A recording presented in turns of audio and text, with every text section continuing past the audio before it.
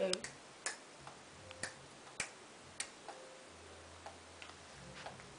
ん。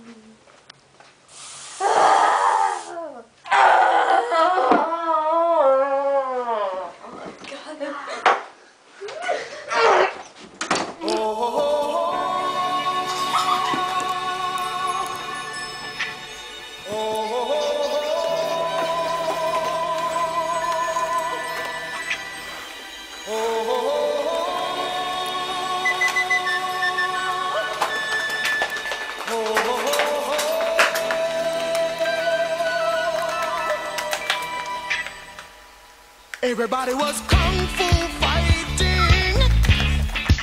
Those kids were fast as lightning. In fact, it was a little bit frightening. But they fought with expert timing. They were funky Chinamen from funky Chinatown.